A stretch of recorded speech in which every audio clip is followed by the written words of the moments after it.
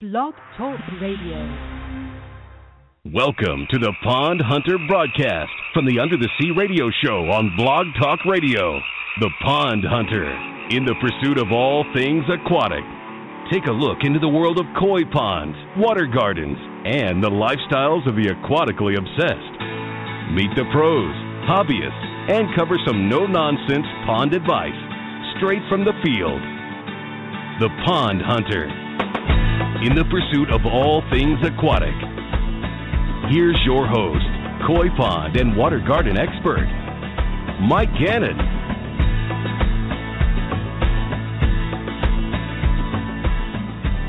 Hey, hey, hey, everybody. How's everybody doing? Hey, what's up, folks? How's it going? Welcome. Welcome to the Pond Hunter radio broadcast, coming to you and broadcasting around the world from Blog Talk Radio.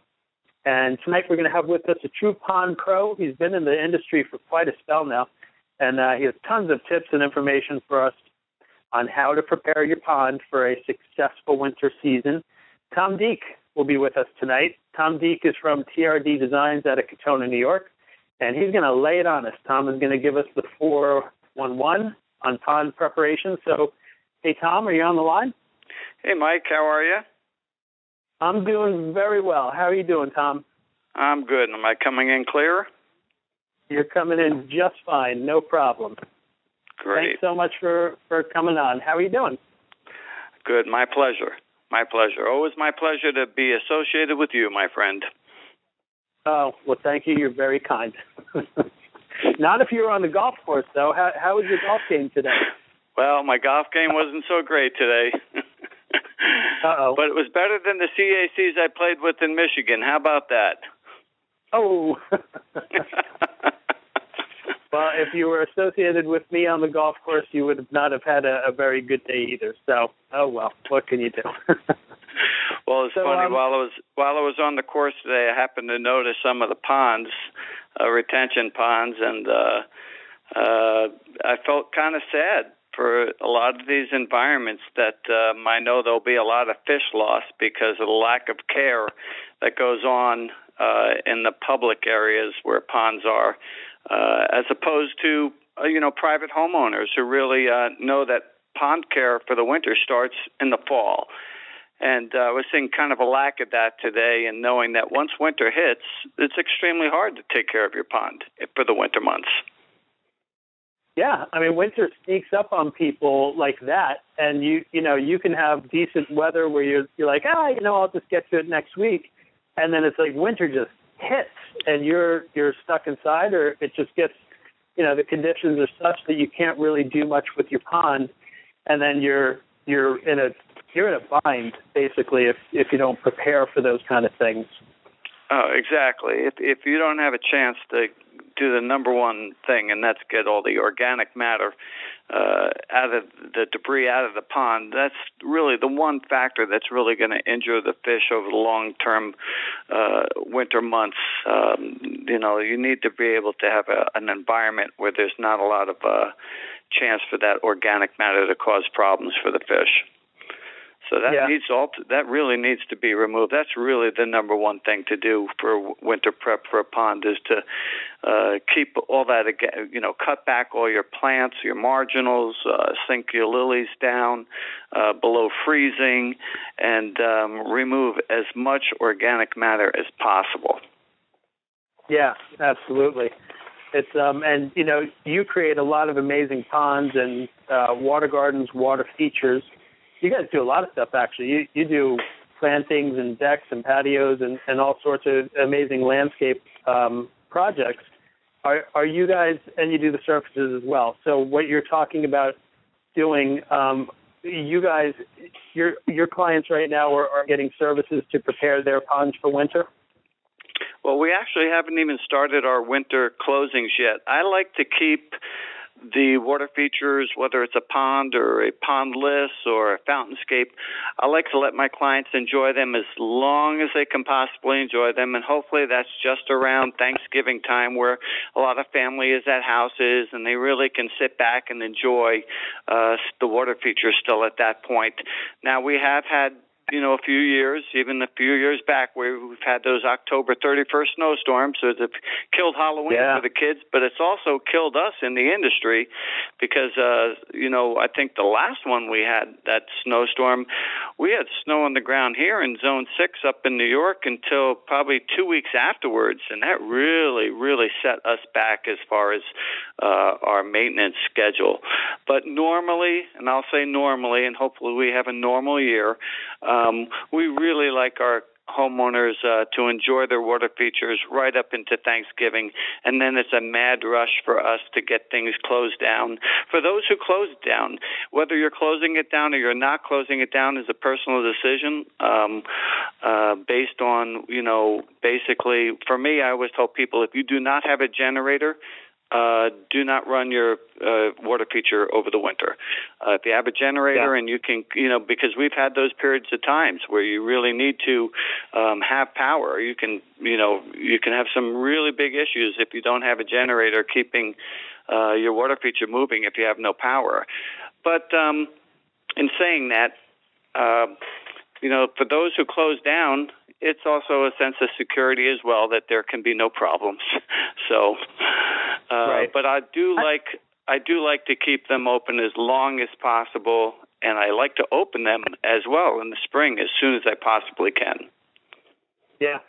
You know, I, I think when it comes to winter preparation, that that's actually one of the the biggest questions, or maybe even the main question, um, before you start even getting anything else, is do you run your pond or don't you run your pond during the winter time? Um, you know, and like you said, it is kind of a personal choice of the you know the pond owner. Um, I tend to encourage people to run them. Um, you know, a lot of that has to do with the fact that I install, we install systems that that can run year round. Of course, you know, you got to be careful with extreme weather, single digit weather, stuff like that. But um, you know, given general uh, conditions, they should be able to run year round, really without too much issue. What do you recommend for most people as far as whether to run or not run their ponds? Wow, that's a real tough one. Um, I've had clients that run them um, through the winter, and I've had clients that have decided to shut them down. Um, the same client can sometimes choose to, you know, run one year and shut down another year. Um, there's a couple things Yeah. to you know consider. One is cost of running your system, of course. You know that that can be a, a factor for some people. Um, uh, the other thing is, um, you know, the sense of beauty that you get in running a water feature with all the ice formations and the, I mean it changes every day. Just the sheer beauty of a water feature, a waterfall, and and the ice formations is it's breathtaking uh, to see, Yeah. and, and especially at night when things are lit with the lighting that we, you know, the uh, LED lighting that we use. Um, so that Oh, you know, that's a tough decision people need to make, and um, still, I think a lot of it revolves around uh, a sense of security and whether you have a backup uh, a, a generator. Um, Yeah. Here in the Northeast, anyway, I think you know we can get so cold that you can have some, you know, really bad things. Uh, you know, pipes freezing. And I, last year we had a water feature with two broken two-inch check valves, and Yeah. we've never had that before. This water feature has run ever since its inception back in uh, 2008, and last year was the winter, worst I've ever Oh, seen up here. And that Brutal. that was two two check valves that uh, totally fr- uh, froze, which I've never seen Yeah. before. But so things can happen. Yeah, and you know, there's there's I'm sure you deal with all types of ponds and all types of systems, and some ponds need to be shut down. There are some filter systems and other ways of constructing ponds that you just you cannot run them year round. So of course you're going to advise your customers, hey man, you know you you need to shut it down. Um, I, I always also- think that That that also is a concern with how the pond is constructed or the water feature is constructed. If you have um, uh, if you have a lot of edges that uh, if you get ice buildup may overrun the edge of the pond, then next thing you know you come out and there's no water left because it's frozen and the water hasn't gone down the you know slope and into the basin or into the pond. Uh, then it's overrun the pond because of some ice damming. That can be an issue too. So I think that keeping it open also depends on how your pond is constructed, how your water feature is constructed. Yeah, absolutely. Um, when I'm seeing ponds that have bead filters, canister filters, box filters, UV systems, yeah. to me, those, those cannot run year round. I, I no, never you, recommend that for anybody. No. Shut it I, off. I love I love the biological filter, filtration uh, uh, filtration that we have. Uh, I try to incorporate that in almost every water feature we do. But listen, you know, yeah. the bottom line is when you when you have a uh, water feature, um, you, there's still a number of check a checklist that you really need to go through before you head into winter, and it really starts in the fall. And a lot yeah. of it, a lot of it, uh, based around you know keeping the organic material out of the pond, um, and uh, you know again, as I said before, cutting back your your marginals. Um, you know, also. Um, changing for the fish, for the koi especially, just changing your uh, your fish uh, food to a um, wheat germed uh, food, uh, right. cold water using a cold water bacteria. So you're still getting some organic breakdown with the bacteria as the pond, uh, you know, goes towards 50 degrees. Um, right. You know, and it's you know be- before we get to the the fish and plants and stuff. I think it, it once we've decided that we're going to run a pond or a customer is going to run their pond for the entire season, um, I think it, what is a, an important step in preparing them for that is the just doing the maintenance of their equipment. So let's right. let's talk about preparing pond equipment for the winter a little bit, and um, let's start with like with the heart of the system, the pumps. Um, if somebody, what is a typical process that somebody should look at doing in preparing their pumping system for uh, for winter time? So if you're going to be shutting your pond down, you're going to be removing your pump, and you're going to be also removing, you know, your filter pads and, um, uh, you know, cleaning them out and storing them for the winter. But taking your pump out is crucial. That uh, that you really need to uh, take your pump and probably put it in something like a five gallon bucket of water to keep the seals from drying out over the winter. A lot of people don't do that and uh, the seals uh, uh, get dried out, and the pump is never the same after that happens. Uh, so if you're yeah. going to remove your pump, um, you know you really do need to uh, put it uh, in, inside where it's not going to freeze. Put it in your garage. Put it in a five-gallon bucket. Keep it uh, keep it wet for the winter, and then I suggest that you. Uh, if you're going to do that, you still need to be able to then uh, put in the pond something that's going to recirculate some water, and that would be something like uh, we use the Aquaforce. We keep it on the upper levels of a pond so that moves the water. Uh, it doesn't stir up the water down below where the fish like it to be calmer. Uh, so it's not yep. drawing and changing temperatures from down below. It's kind of just keeping everything moving up on the top and keeping it open. Uh, so we really like to use the Aquaforce to that. But you know, um, you do need to remove that pump, and I would now, suggest somebody, pulling the filters out. Okay.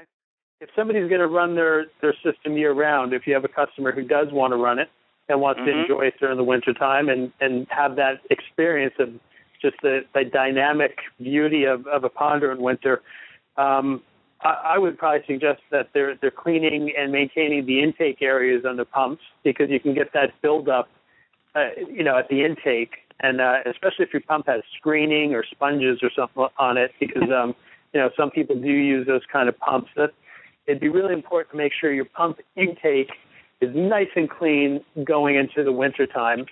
Um, now, if somebody has an external pump, Tom, can they run those year round? Do you recommend that? If, I, if, I would not recommend that. I, I think an external pump or an external filtering system uh, is just um, a, a problem just waiting to happen. Um, I would not suggest that.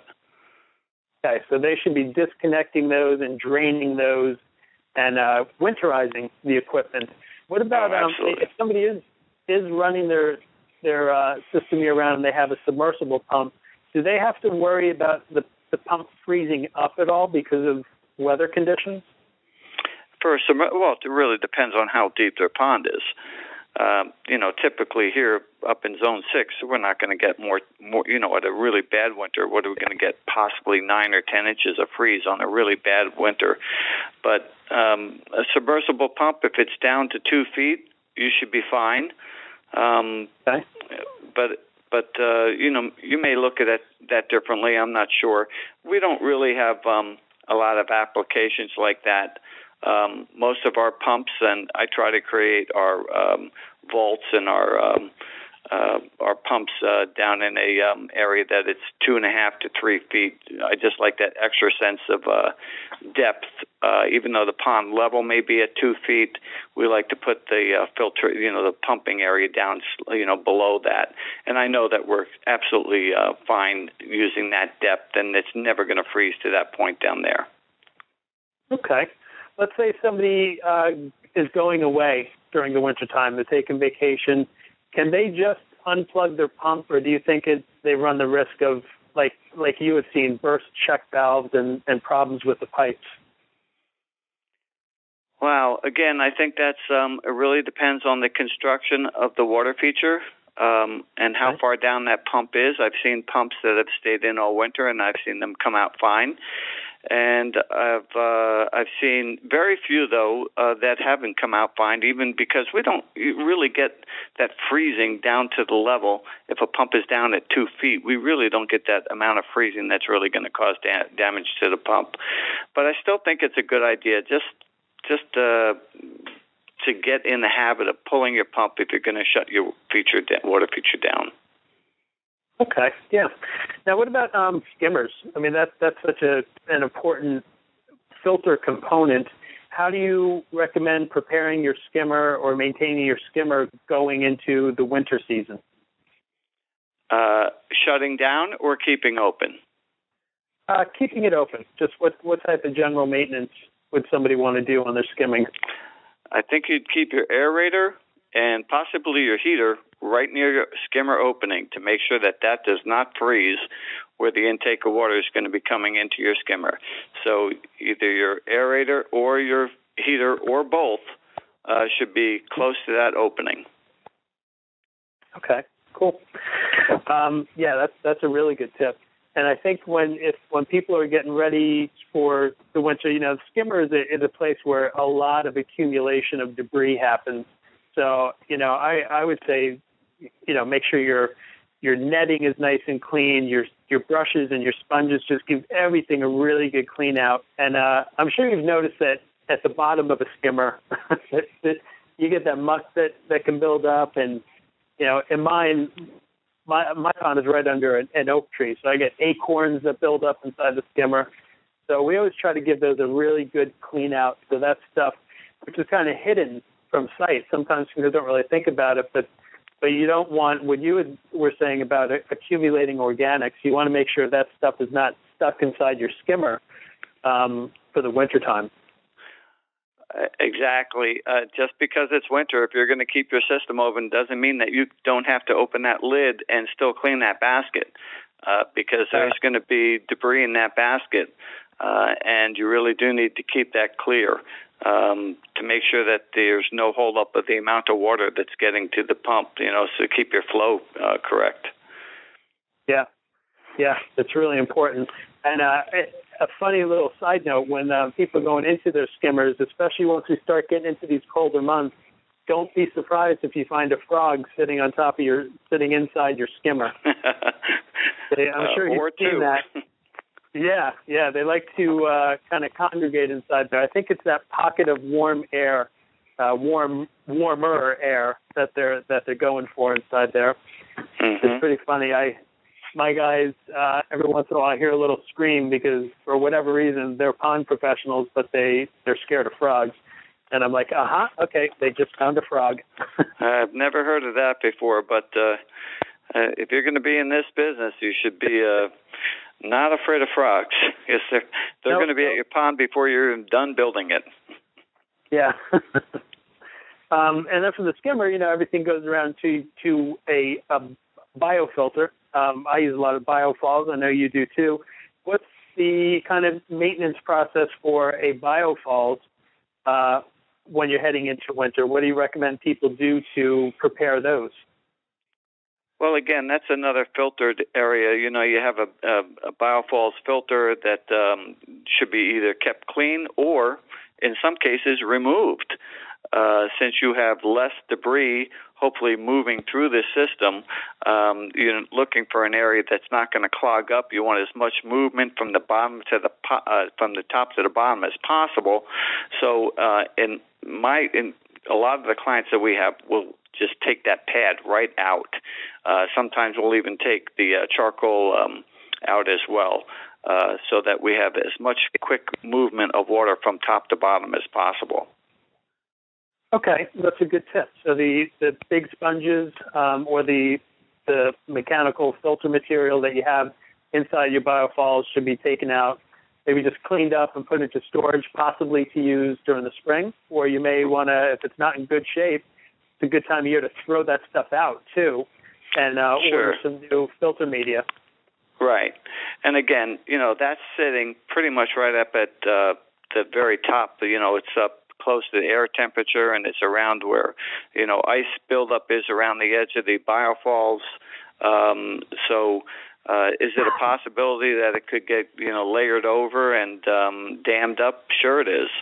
So it just depends on the construction again and whether you have um, you know, an open biofalls, or do you have something with a cover over the top of it? May make a difference in that.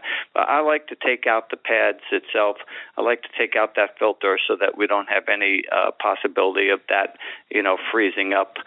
Uh, it has been a few. T- it's been a few years since this has happened, but I've had to go out a few times during the middle of the night just to loosen things up um, when we've been down consistently at you know four or five or uh, 10 degrees below zero some nights, and that's happened uh, where you start yeah. to get, even though you have a heater and you have an aerator, you still have that amount of buildup that you're starting to uh, getting some ice buildups that's going to move the water outside your, you know, your envelope, and that can be a problem if you're, if, especially if that happens at night. Yeah, yeah, absolutely. You don't want to uh, drain your pond overnight. That is not nice to wake up to. Um, we deal with many different types of ponds. Um, so on a lot of times I'll see people who are using UV systems, the ultraviolet systems. Um, I don't think those should be kept out all winter. What, what do you, how do you um, think people should deal with those once we get to this time of year? Uh, no, the UV lights should come in. The bulbs should come in. Um, it, there's no reason for the. They're, they're really not pro- providing you any type of a beneficial, uh, uh, you know, service at that point. So they're not really uh, something that's working for you. So you might as well go ahead and uh, uh, pull them inside. Um, uh, you know, re- remove the unit, not just the bulb. Uh, you know, the pressurized filters can crack. Um, uh, even the ion clarifiers, I, I think they should come in. Um, the all-in-one type of filtration units, those should come in. Um, you know, things like that, uh, as well as your pumps, um, really should come in for the winter. Yeah, all those things should be removed and completely drained. Um, mm-hmm. You know, I, I've even made the mistake of not fully draining um, UVs or even little canisters over the last 20 years. I mean, it's bound to happen, and you know they always break, they always crack. So oh yeah, um, people got to really drain those completely. And what makes it easy this time of year to deal with those those type uh, that type of equipment is is planning for it on the front end when you're constructing your pond. Um, a lot of people get these UV systems, they put them in line, and they don't really think of, hey, you know, six months from now, seven months from now, I got to take this, I got to remove it. So I would even recommend using union fittings when you're installing the UV, so you can take them out really easily and just yeah. connect those lines right back together and keep on um, running your system. And you, right. you mentioned ionizers too, which is another type of algae control. Um, this uh, and you you feel that this is a good time of year to unplug them and remove them? I do. I don't. You know, they're not really going to provide much of a benefit for us over the winter. Um, I think the units themselves will last longer if they're brought in, and then you can rehook them back up in the spring. But I think it's just uh, you know a sense of security that um, uh, you, you have components that are outside that um, are open to the elements, and um, uh, they're harsh elements some years, very harsh, uh, as last yeah. year was. So you know to be on the safe side, that would take those uh, ion clarifiers in and uh, as well as those filters and the UV clarifiers, things like that should just come in. You know, for another, people who, another thing, uh, Mike, that's another thing that's really important. Um, uh, it, that makes a big difference is, um, you know, when you have aeration stones in the pond or the dip, you know, the big plates that uh, are used for aeration, those really need to move, be moved from the uh, from the bottom of the pond where we want them during the growing season to the upper parts of the pond. Um, you know, you really don't want to be moving that lower water, as I was saying before. You want that to be yeah. nice and calm. So, moving your aeration up to the upper portions of your pond uh, will make a big difference on how you know your fish are settling into that nice calm area uh, where they're you know in hi- um, hibernation. Right. You know, um, and going back to the ionizers, what when people are running those during the season, you know, you're, you're not going to use it during the winter, but a lot of people aren't familiar with the ionizer. What what are those used for? What does the ionizer do for the pond? Well, the ionizer is just another method of reducing algae. Um, so it uh, pr- pretty much prevents the uh, buildup of algae. It's a uh, uh, an ionizer is, uh, uh, you know, throwing. Um, maybe you can even explain this better for me because it's a it's very kind of topic that is not the easiest to explain normally, but it's a, a, a release of a the ion that is going to help reduce the the makeup of how an algae uh, cell um, builds, and um, yeah. you know um, we've been using them for years. We've seen some good um, success with them on some years, and some years less. Um, as you can have a lot of, you can have a big algae year and a not, not so big algae year. But the ionizer is uh, uh, something that really can reduce the amount of buildup of algae that happens in your pond. Okay. Yeah, and I, it it targets string algae. So if people are looking at utilizing those for green water conditions, they're really not going to get any performance out of it. And uh, it's like what you said, it just releases a low level of uh, copper into the water, which algae just can't handle it. So it, it dies, which is a good thing. Now there's a probe in there. So when you're taking it out for the wintertime, that probe usually gets uh, some scale building up on it. And you can you can brush those probes, clean them up, dry them off, and like you're recommending, put them away for the winter because they really aren't going to offer you too much um, algae control during the winter months. And all you're really going to be doing is wearing down that copper probe, which they can, you know, to, to replace them, you don't want to really have to do that or pay for that more than once a year. And if you clean it, dry it, put it away, springtime comes around and you you put those in in your nice clean pond, and it helps to control algae all season long. Um, mm-hmm. I know we don't deal a lot with these, but, but I think it's, we need to talk about it because there's listeners out there who do have these pieces of equipment, which is the bottom drain. So, the bottom drain, is there anything, do you deal with those at all as far as uh, the winterizing of ponds? You know, we don't have a single system with a bottom drain. That's not really in our method of construction. Um, yep. I, you know, it's. Um, I know it's been around for a long time, and I know it has its benefits, but it's not yep. something that we're really familiar with. Um, uh, so I can't really answer. I can help you on that. Yeah, I don't do bottom drains personally either because it's just. I think on paper the bottom drain is a is a good concept, and you're right. It does have applications in the pond industry. In my opinion, they're better suited for concrete ponds or really for breeders and uh, retailers and you know guys who are who are selling fish or breeding fish, that's where a bottom drain can really come in handy. I, I think in the typical backyard pond, especially in areas like ours, um, we get a lot of debris that can get into a pond. So the, the bottom drain to me represents a liability in many ways. Um, I'm not a big proponent of using them, but what I do recommend for people that have them is that it's time to actually turn off the feed from your bottom drain. You don't want to keep drawing water down through that uh, for a couple of reasons. First of all, if it gets clogged up, you need to get down to the bottom of your pond to unclog it, which is a big job. And pond professionals love working, but they're probably not going to want to dive to the bottom of your pond during the middle of winter to unclog your bottom drain. So I'd recommend, you know, taking the bottom drain suction offline and uh, not really dealing with it during that time of year. But another thing is that it circulates water from the bottom to the top of the pond, and you touched on that with the aeration advice.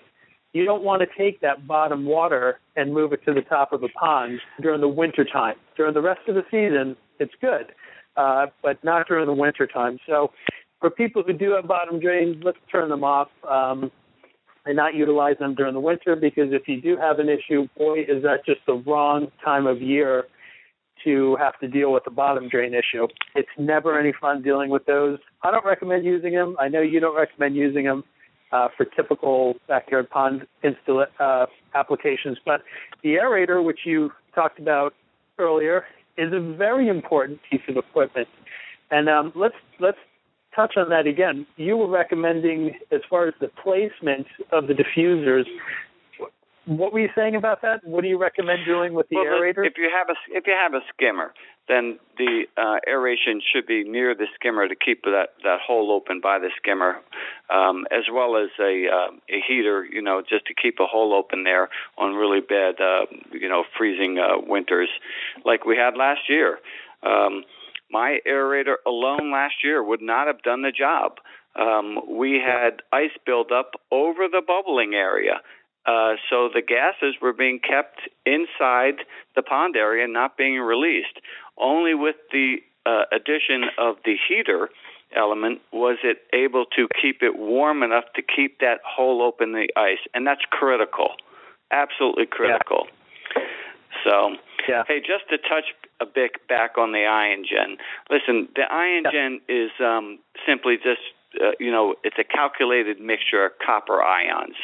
Um, and it releases that uh, a path flowing into the water, and that basically is going to be um, uh, reducing the string algae uh, dramatically sometimes.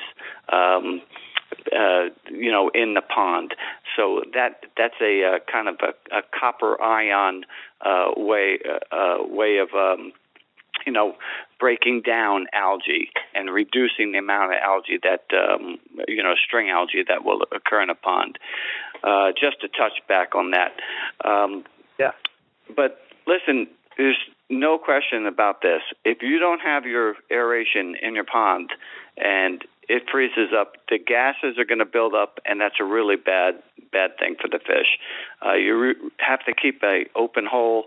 Uh, that gases have to be released, and um, uh, putting that near the. Uh, if you're going to run your pond, you're going to put that right near your uh, skimmer, so that uh, it also is keeping uh, the skimmer wide open to draw water into the skimmer for the pump. Yeah, exactly.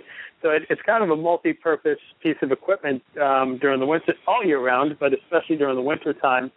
And uh, you had said that typically during the height of the season, when we're all enjoying the warmer months, the diffuser for the aerator can go to the bottom of the pond to make sure you're circulating and getting lots of oxygen into the pond. And, and like you said, still releasing gases um, during that time of year. Ammonia, which can build up in ponds, is released as a gas. So and, meth- when you're and methane surface, as well. Yeah, methane gas exactly. as well. So. So it's a great way to degas your pond. Um, and it's an, it, they're pretty inexpensive to run. So it's a great piece of equipment to have, especially if you don't have a skimmer on your pond. There's, there's a lot of people that may have various types of um, systems, and some of them may not include skimmers. So I would really highly recommend having an aerator in there just to give you at least some gentle circulation. Uh, you're going to be de-icing your pond. You're going to be degassing your pond. It doesn't cost that much to run, and um, like you were suggesting too, you don't want it in the deepest area of the pond. You want it uh, if you have shelves, maybe on the top shelf or about mid depth of your pond, depending on what the, the depth of your pond is. Now, what is a like aerators as as a piece of equipment? What does a good aerator tend to cost for people who are who are listening to this and they don't have aerators? What can they look at expecting to as a purchase cost for an aerator? Well, I think aerators uh, can vary uh, in cost, but I think you can get a decent aerator someplace for around uh, 85 to 120 dollars. Um, you can get a good aerator. A lot of them have, um, you know, the more expensive ones are going to be um, uh, have more ports that you can attach uh, tubes to that you can run aeration to different areas in the pond. Um, yep. But um, they're not very expensive, and neither are the heaters. The heaters can be, you know, pretty similar, even less expensive um, for you, and they really don't draw a whole lot of uh, of amperage. Uh, so yeah. Um, yeah. It, it, it's not like your pump, it's not like your pump running, Mike. You know, your pump is going to yeah. run. You know, cost more to run than than these two items. And these two right. items are just as important, if not more important, for the winter months than a pump. Yeah. And um, I want to let people know too that when you're looking at an aerator, make sure it's it's for the outdoors. Don't don't pull an aerator off your aquarium or you have an old aerator, you know, air pump in your basement. Make sure you're getting a pond aerator that's going to be strong enough to aerate your pond, de-ice your pond, circulate, and it's built to be outdoors. Because after a good rainstorm or, or a freezing night, the uh, aerators that are meant for the aquarium industry are not going to do the job. I see a lot of people trying to substitute uh, aquarium equipment for pond equipment, even though they're very close cousins. Um, you don't want to mix those up. Now, the de-icer, you're saying that a de-icer, um, which, to clarify too, is not a heater um, by any means. They, de-icers don't actually heat ponds. A lot of people tend to refer to them as heaters, um, and they really don't do that. But they do keep your pond, uh, keep at least a, an area of your pond from completely freezing over. And you suggest keeping the de-icer close to the skimmer if you have a skimmer uh, which is a great location for that. Right. Um, you know, de-icers uh, are floating devices. Uh, they're going to be, you know, some are as high as a hundred, uh, a thousand two hundred and fifty watt uh, heaters. Uh, others can be much, much less in in, in uh, wattage. Um, but they're usually both a floating device, and they're just going to be able to keep a vent hole open in the ice to release the gases uh, from underneath yeah. the ice. Even the smallest of holes will suffice. So, um, cutting or chopping, and it's so funny. I remember some some video where you were chopping through the ice at one point. Do you remember that? Some video yeah. back when. Yeah, and yeah. that must have been a, a stressful situation that you needed to get that hole opened up. Um, uh, I'm not sure exactly when that was, but I know that that was a source of uh, stress for you that you had to do that to make sure that you got that hole open. Because you really if you don't get those harmful gases removed uh, that are caused by fish waste and plant decay um, wow they can become deadly to your fish. Yeah yeah absolutely. Uh, especially once you get everything iced over with snow and all that coverage it it really can turn um, into a, a terrible situation which mm-hmm. which is why we want to be prepared, which is why we're we're talking about this stuff, so people have good info and they're prepared for the winter, so you don't wake up one morning and find out that you have no access to your pond and you know your your beloved fish and koi are are suffering or possibly even dying underneath there.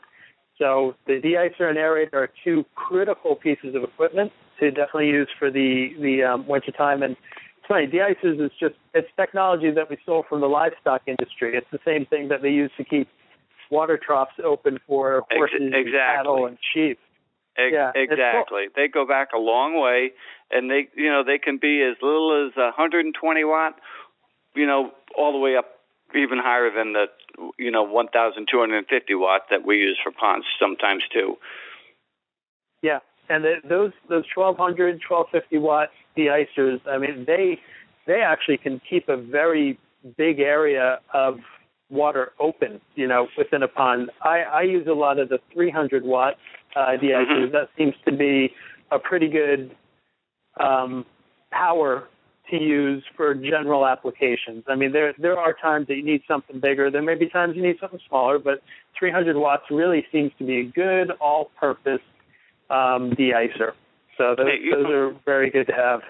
You don't need anything higher than that. Again, even the smallest of holes will suffice and do the job. Yep. Now, when you are doing the winter prep services for your clients, are you plugging in the de-icer at that time, or do you just stage it? When is the best time to actually plug it in and, and get it going? Well, I usually bring it out for the client. I leave it near the power source, and um, usually uh, they'll get an email saying, "Okay, reminder, uh, go ahead and put that in, plug it in now." Uh, some of them are temperature sensitive, uh, and those ones that are usually, I think it's about 37 degrees that they turn on, um, and some aren't. It all depends on the um, ones that you have, the deicers that you have. But um, um, I try to make uh, as least of uh, a job for the clients as possible. So I'll put things out there for them. But we will put the aerators up to the level and have them going because you know aeration in the pond is good all year long. Uh, we'll just oh, yeah. move them up into the upper shelves. But the de-icer will just sit there until uh, they get that email saying, okay, go ahead and pop them in.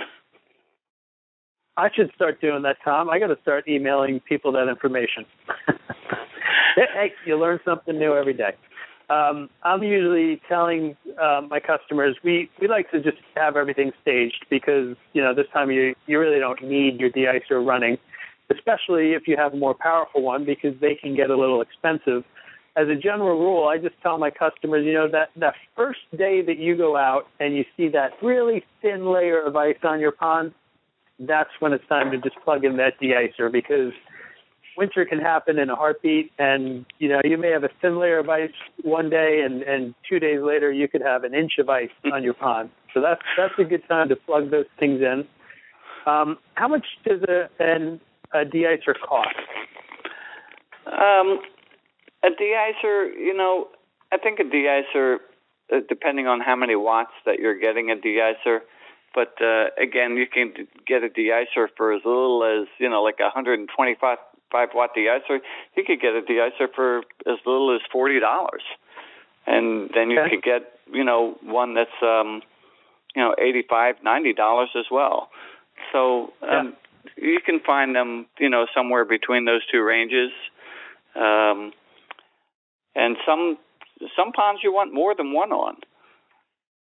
Oh yeah, absolutely. Depending on the size of the pond, um, I would never rely. If it's a larger pond, I wouldn't want to rely on just one de-icer. So, you know, you could we could probably even come up with a certain square footage of ponds. You know, you want to have a de-icer per X amount of square feet, but that really is going to depend on the power. Because, like you said, some are 1,200 watts, some are a heck of a lot less. So it, it really depends on what you have going on. I actually use a de-icer in my pondless water features that stay open for the winter. Uh, it's just a sense of security, and last year they were a necessity to be able to oh, yeah. keep.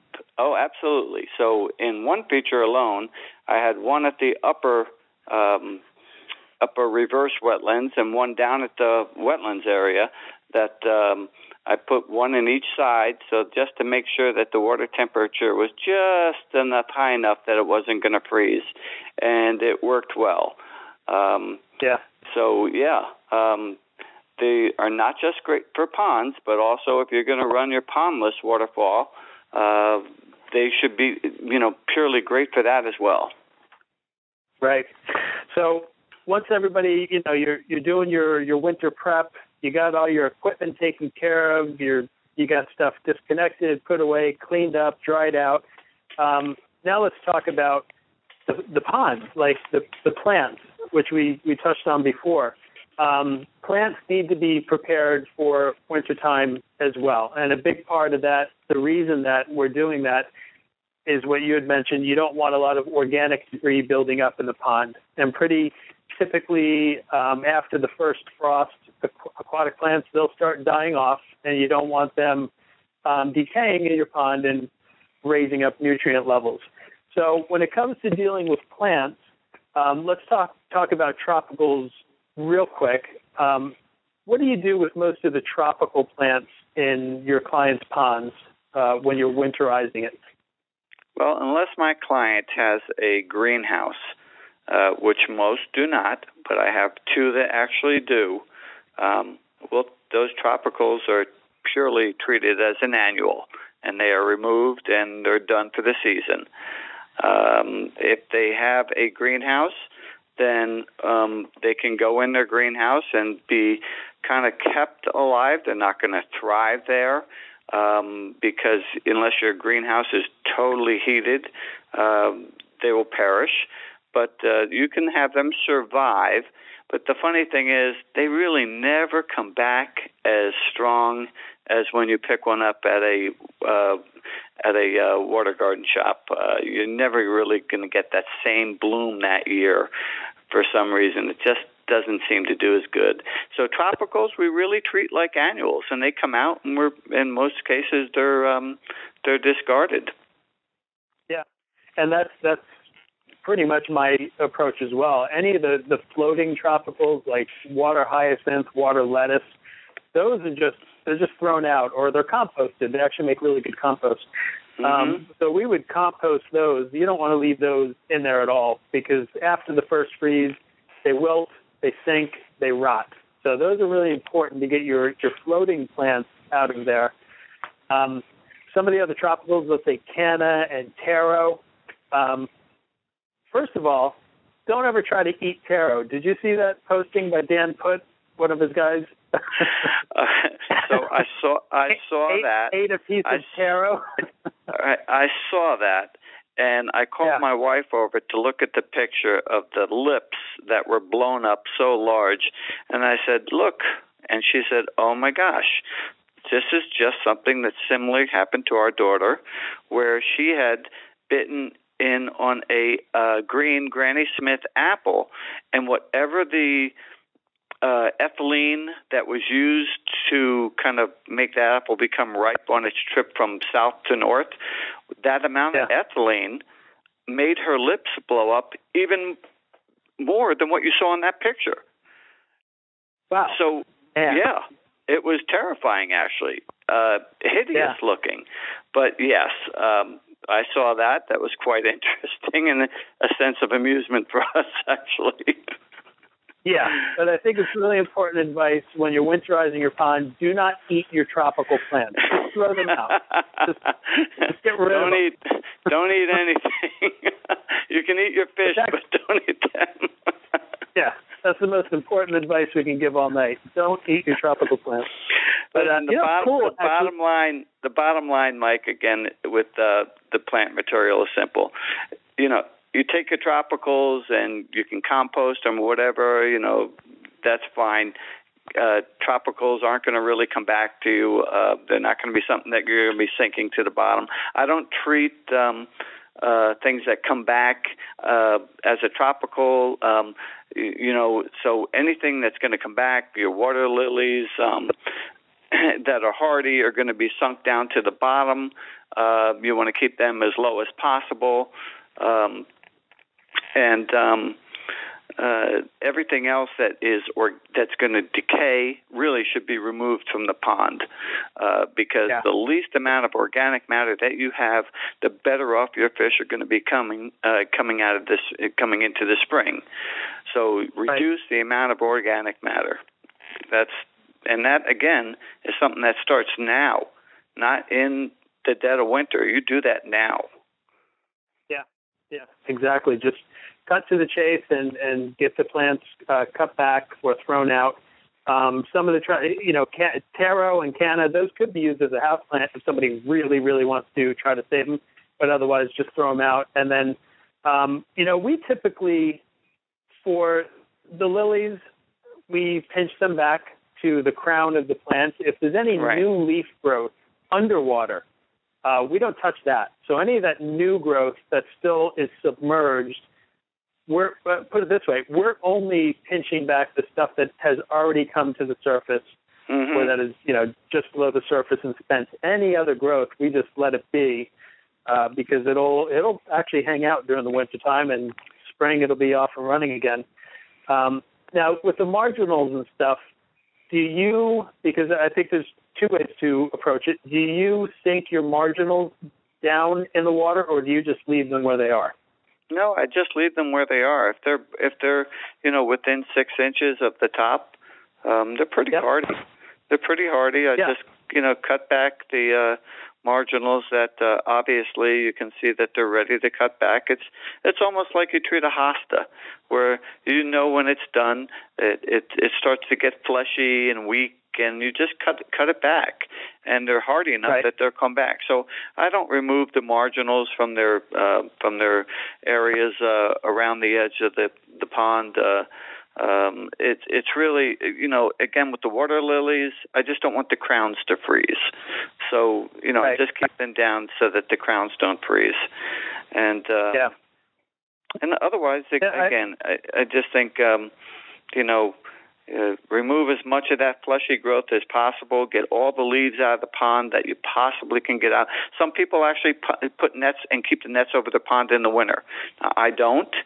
I do in the fall, but I do in the fall because it's for me it's a it's a great sense of not having to do, do so much work coming into the winter months. Um, but right. but I think you know I have clients that actually we keep their um, you know, two clients actually keep their pond netted all winter long, and uh, yeah, just, it just helps out with the amount of debris that they don't have to deal with in the spring. Right. There's some strategies to keep keeping it on, and of course, mm-hmm. you want the plant, plants cut back prior to that. Now, my my habit when cutting back marginals is usually to leave about four inches above the water. Mm-hmm. Um, you know, for canna, iris, stuff like that. Um, and like we just talked about, we don't submerge the plants at all. I know that there's there's people out there who do. They they have a practice of taking you know their beautiful marginal plants that are thriving, their pickerel and their iris or whatever they, it is, and then they put them on the bottom of the pond. And I think that's a mistake. I think you're actually subjecting your plant to a very stressful uh, condition. You're basically flooding the plant. You're putting it into a state of flooding during the winter. And these plants can take flood conditions. They can take dry conditions. That's why they're marginals. They're used to having a little more or less water, and they're they're hardy. I mean, they're they're pretty bulletproof. So if anybody is out there and you're taking plants and sinking them to the bottom, don't do that. If your plants are doing well where they're located, they're happy, and they're growing during the season, like Tom was suggesting, just cut them on back down to just above the crown of the plant, and they'll do just fine during the winter. They can handle those freezing conditions. Um, have good trust in those marginal plants because they're just kind of genetically programmed to deal with freezing weather and dry conditions. Some some ponds I don't use a lot of it. Some ponds use um, some pond keepers use submerged weeds like Anacharis, Elodea in their ponds. Um, what do you recommend as far as how to deal with some of the, and I don't mean lilies, but the submerged weed type of plants that people sometimes introduce into their ponds? How, what, you, what about for winter on those plants? Well, you, know, you got me on that one because I really don't have any applications of that. Yeah. I see people will, will kind of, I don't use them, I don't introduce them myself because they are truly weeds and they're going to take over your pond at some point. So for those people who are using uh, the aerators, Anacharis, hornwort, coontail, stuff like that, my suggestion is to heavily thin those out or even remove them because they're inexpensive plants to replace.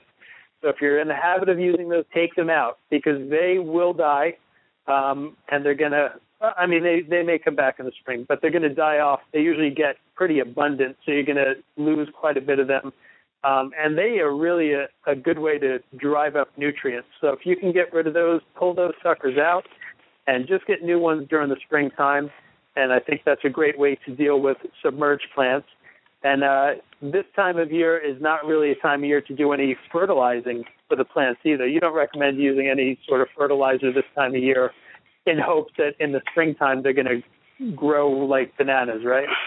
You know, this isn't turf grass. You're not giving a winter fertilizer for early green spring, you know, green up. That's yep. that's not. Uh, we're not doing that here. Um, these plants are going into dormancy. Uh, they should be if they're if they're in the pots, they should be well root bound at that point. If they're if they're creeping out of the pots and they're into your gravel, they should be pretty root bound as well, going through the gravel. Uh, they should be fine for the winter. Um, can they freeze? Yeah, if we have a really tough winter, uh, some plants will get some freezing and and uh, not come back, and some will partially come back.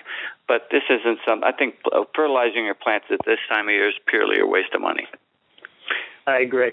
So we're we're walking through the process. We got our equipment taken care of. We got our plants all cut back and taken care of and prepped for the winter. And now comes time to um, net the pond. And you were talking about netting ponds just a moment ago. What are the benefits of netting a pond this time of year? What what are some of the things that people who don't net their ponds, what should they consider, and why do you recommend it? I recommend it uh, if you want less work coming into the spring. You're going to have a lot less debris to clean out uh, because it's going to be sitting on the top of your net. Um, it's something that um, you know when you're not when you don't have a lot of ice buildup or snow on the net, and you have um, material there that you can you know on a winter day come and blow it off or rake it off. Um, you know, it, it, for for me, it also is a, a plus and a negative because I think it also detracts from the beauty of a pond um, when you don't have the snow and ice over it. Um, anything to me that's not natural uh, takes away from the pond. Um, so for my own home, I do not net. Um, once we're done with all the leaves here, which which should be, oh maybe in a couple more weeks here, we should be all done, um, and we'll blow off around the pond. Uh, any of the leaves that come into the pond for the winter at that point is purely uh, a case of going out there and doing a little bit of winter maintenance, uh, trying to fish out any of the leaves. But uh, people, some people just don't want that, you know, extra maintenance, and they'll go ahead and and put a net over the pond for the winter, um, which is fine. Just it's not my preferred method here at my own home. The netting greatly reduces your maintenance this time of year while leaves are really, really coming down. Because you can have days where, if you have a skimming system, you may have to clean your skimmer three times a day, you know, because the leaves just come down in such quantity. So netting can really, really reduce maintenance quite a bit. So that is, is definitely a benefit I think everybody should, should consider. When we're talking about netting, what type of netting do you recommend? Because netting may mean different things to different people. What type of netting do you recommend? Well, it can't be a very thin netting. It has to be something that can be stretched and can be take some weight um, on there. Um, you know, pond netting is um, oh can be thick, like uh, not quarter inch, but probably three inch, three eighths inch netting um, can be used. Um, it's um, you know, a lot of the netting that is used now is kind of like a multi-purpose netting. Um, it's it's a rolled netting. It comes it's convenient uh, to to install. It's easy to install. Um, but it, it, you know, a lot of these packages, netting packages, come with stakes, and uh, it's reusable. Uh, it's yeah. it's like a it's like a woven poly uh, material that's resistant to tearing, that type of netting. Um, and it, it usually should last for a number of years. Um, and some net, some netting, of course, is thicker than others and will last a lot longer. But um, you know, your typical pond netting is um, something that we just give our uh, size of the ponds to our distributors, and we tell them whether we want, you know, something that's 14 by 20 or 28 by 30, or there's, you know, all different size. There's stock sizes, and then you can have them custom cut. So um, right. it really just depends. But um, it is without a doubt one of the ways that you can reduce greatly the amount of work that you need to do going into the winter. And we we actually have had our our nets up for a month now, quite almost a month. Wow. Okay. Yep. Yeah. So you're you're prepared, and it is. It's it's as far as preparing for a successful winter season. Um, netting is this time of year is, is really important. I use um, you know same thing. I, I use a heavy duty net that can be used. I usually get two to three years out of the netting that we use for our customers. Um, it's got to be able to stretch tight. Many years ago, I used to get economy netting, um, which is also sometimes just called bird netting or generic leaf netting, and it just breaks and tears. Uh, you mm-hmm. know, it's mm-hmm. just way too easily. You get a few leaves on there and a rainstorm, and boom, the thing is just ripped apart because it can't handle any weight at all. So the netting we have that, that I'm using is, is a quarter inch gauge. So, you know, fish food can still get through there if you're feeding your fish, but leaves and stuff like that, even um, acorns, unless they're really small, cannot get through, um, mm-hmm. which is really nice. You now, what's your method of installing netting? Because I see people doing all sorts of stuff from stretching it tight to using poles to creating canopies and tents. And I mean, some people, my gosh, they, they build houses over their ponds for the winter season. yeah, I've seen some doozies. Well, to me, less oh, is better. The, the least visible is the best for me. I'm I'm fine with even having the netting be slightly suspended over the water's edge, um, and and kept taut as possible as it possibly you know could be. Um, most of the netting we use is like half inch by half inch openings, so um, you know the hole size is um, not going to let the leaves in, but yet we can still you know feed, uh, fish uh, feed the fish as you were saying. Um, uh, I I just think that the the to keep the netting as close to the water's edge is is fine for me. Some people do the pole deals and make that tent and um I don't know. You know. Yeah. It's it's not so pleasing to have something that in nature that looks man-made and that looks so man-made to me that if the lower it is and it's taut uh to the pond uh, you know, just above the water's edge is probably the best for for, for our applications anyway. Yeah, I'm with you. I would say 90% of the ponds that, that we deal with for doing winter preparations, we use the stretch tight method. Um, we just take it, we stretch it around the, the pond, we staple it into you know into the ground, or we use rocks to kind of weigh it down and keep it in place. Um, we do a couple of ponds where we're doing poles, you know, PVC poles and pipes and all this kind of stuff, but it, it really is, like you're saying, not too pleasant to look at. Um, it's not really that much of a benefit to go through that extra trouble of, of tenting it and all that kind of stuff because, you know, a lot of times the, the PVC pipes just bend and you know, you, you just kind of have a mess on your hands after that. So I, I like what you recommend with the straight, you know, stretch your netting real tight. It looks good. It's functional. And um, it's easy to deal with when it comes to taking it off and putting it up. It's just it's a little less work to do on your pond. Um, so less less um, yeah, is better. to me, less, less is, is better. better. yes. No doubt. Now, what about our fish? I mean, that that's what this is all about: ponds and and having fish. And uh, you know, some people may think that they have have ponds and they have to move their fish indoors. Some people may have to. I mean, depending on your pond, you may have to move your fish indoors. Not the way we build ponds. The fish can stay out all year round. Um, what are some of the things that you recommend to prepare your fish for the wintertime?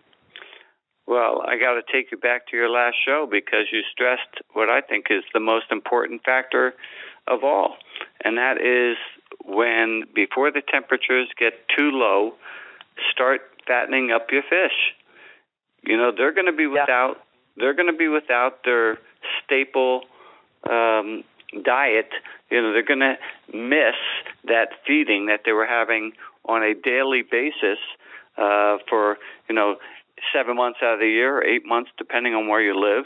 And they're going to be starting to go into hibernation. Uh, and you really need to give them everything you can uh, for them to make it through this through the winter. And so by uh, feeding them a little bit more, fattening them up for the winter, is a great thing to do. Yeah, I agree. What what they're eating now is what they're going to burn during the winter time. During the rest of the season, when it's you know the height of the season, May, June, July, um, August, all those those times a year, the the feedings that we're giving are are basically just maintenance feedings because the fish are kind of metabolizing everything that they're eating at such a high rate because of water temperatures and their activity levels are really really high so, I mean, for me, I almost start the the winter prep for my fish towards the end of August. I mean, that's mm-hmm. that's when I start mentally saying, you know what, winter's right around the corner. It's time to kind of power feed these guys, and uh, I'll let them, you know, late August through the rest of the season until they stop eating, until they they tell me I'm done, I don't want any more, um, or the temperatures dictate that. I feed them as much as they want to eat and let them eat and let them eat. It also is a great way to get out by your pond and enjoy the tail end of the season. You know, it's um, you know, you you want to enjoy your pond too. No, exactly, exactly. Uh, and again, something that you just mentioned, your fish will tell you when they are slowing down. Um, and if you see a lot of your food in the skimmer, um, you're feeding too much. So, right. you know, it's that five minute rule. Feed your fish what they can eat in five minutes.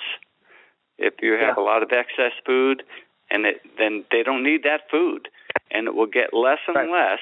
It will get less and less as the temperatures drop. So, yeah. uh, but again, I think still before the temperatures drop, that whole premise of fattening them up, uh, I think is great. And we don't need to build any treadmill for our fish, by the way. Oh, my fish are very well exercised, I have to say. and uh, you're not going to break no, out any wheat pasta recipes, are you? no, I actually thought that was quite quite amusing, and uh, I went out and fed pasta to the fish, and the pasta just sank to the bottom. oh God.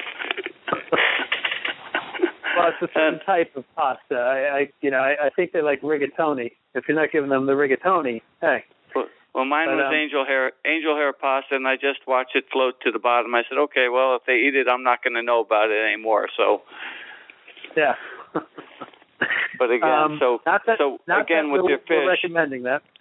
What's that now? I said not that we're recommending giving your fish pasta. no, but you know, um, hey, whatever works. Um, um, you know, you're really looking to do uh, at this time of year. You really want a wheat germ based food. Uh, because you know they can't really once your temperatures get you know below 55, you know, 60 to 50, they don't digest proteins very well. So using kind of a wheat germed based, uh, which has more carbs and protein, uh, is something that they handle better. And then really, a lot, you know, this number floats around a bit. Uh, some people say it's 55 degrees, some people say it's 50, but definitely by 45 degrees, you should not be feeding your fish. And if you have done your job, if you've if your pond is clean and you're not worried about the amount of organic debris in the pond, you know your fish are going to live the winter fine. They're going to be right. good, and whether yep. you can see them or not, um, I think you can be rest assured that if you've done your job in the fall, winter, you know, beginning of the winter to keep your pond clean, prep it for winter, do all these things that we've just spent this time talking about. Um, you really can be assured that your fish are going to come out having a, uh, into the spring, and they're going to be, you know, uh, abundant. They're going to be fine. Um, right. So you know, doing those is. things. Yeah, I mean, a lot of people stress out. Uh, winter's coming. You know, I wonder the fish are going to make it. You know, oh, I can't tell you how often I hear that. I wonder how the fish are going to do. Well, yeah. Co- yep. coming out of last year, um, I saw the least amount of fish die off in any of the years. So, you know, and that was our worst winter that I've seen. Yeah. So yeah. if you do your if you do your job right, if you do your if you prep your pond and your clients' ponds and you make everything the way that you feel is done correctly, you can go to sleep for the winter knowing your fish are going to be great and they'll come out fine. Right. Exactly. If they follow the simple guidelines that we just kind of discussed, they're going to have a successful winter, which means they're going to have a successful spring. And um, Tom, thank you so much for coming on and sharing this information with the listeners. I mean, it's, it's a really important time of year. This is a critical season uh, to kind of know what you're doing and to prep your pond. And I think the guidelines you laid out were, were awesome. And um, again, thank you so much for coming on. I appreciate your time and uh, your information, and, and I hope you'll come on again sometime. Mike, always my pleasure. Uh, you're a great CAC mentor for all of us, so thank you. Oh, thank you so much. All right, Tom. Well, listen, have a great night, and uh, I hope the rest of the season goes well for you. I hope uh, you get a little more golf in as well, and I will be catching up with you soon. Thank you, Mike. Take care. Okay, take care.